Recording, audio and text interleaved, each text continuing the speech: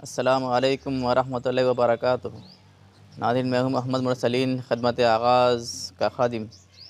नादिन में ऐसी आज ऐसी जगह मौजूद हूँ जहाँ पर शेख दादा बदरुद्दीन सकरगंज रहमतुल्लाह अलैह का मज़ार मौजूद है और शेख दादा बदरुद्दीन सकरगंज रहमतुल्लाह अलैह ने आ, इस उमरी कला को उमरी कला की बुनियाद रखी है और इन्होंने ही इस उमरी कला को बनाया था।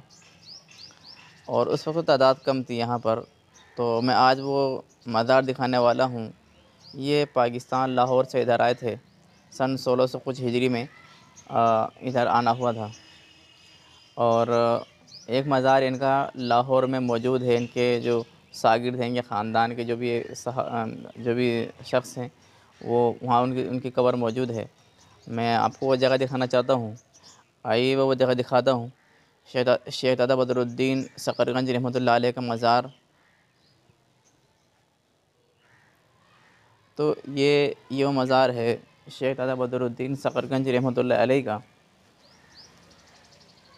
ये ये पूरा उनका, ये उनकी कबर है। ये बराबर में ये सागिर्द हैं। शेख जनाब सैद फ़तः अली शकरगंज रहमत ये इनके सागिर्द हैं।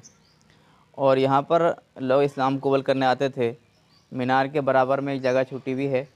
वहाँ पर हज़रत शेख यहाँ बैठते थे और यहाँ पर पूरा काफ़िला पूरे गाँव के दरगाह यहाँ पर आके इस्लाम कबूल करते थे हज़रत शेख के हाथों। मैं वो जगह दिखाना चाहता हूँ आपको जहाँ पर लोग इस्लाम कबूल करते थे। हज़रत शेख बैठते थे यहाँ पर और तो ये वो जगह है जहाँ पर शेख यहाँ बैठते थे यहाँ आकर इस्लाम कबूल करते थे। ये खालिश ये कोने में जगह है और ये खान का मस्जिद कहलाती है। हमारी। और यह इनके नाम से ये फ़ेमस है खान का मस्जिद। तो हमारे असलाफ, हमारे बुज़ुर्गों ने तामीर तो बाद में की इस मस्जिद की। और कुछ कुछ चार से पाँच साथी वहाँ मौजूद हैं सामने हजीरे पे। वहाँ कुछ इनके शागिर्द वो जो वहाँ दफन हैं मैं वो जगह दिखाना चाहता हूँ। और आज मैं वो जगह दिखाता हूँ। सीधे सीधे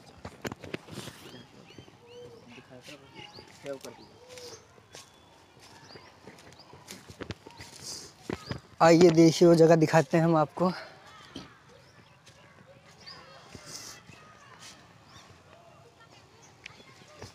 ये वो जगह है। ये ही वो हजीरे हैं जहाँ इनके साथी वो करते थे बैठते थे।